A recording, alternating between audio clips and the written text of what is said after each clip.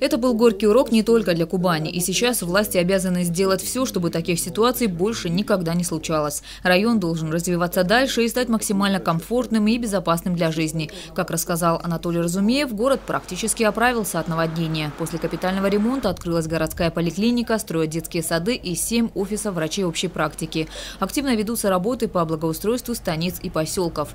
Оценить, как изменилась жизнь в районе, глава пригласил Александра Ткачева. Губернатор пообещал, что в ближайшее время посетит Крымск с рабочей поездкой.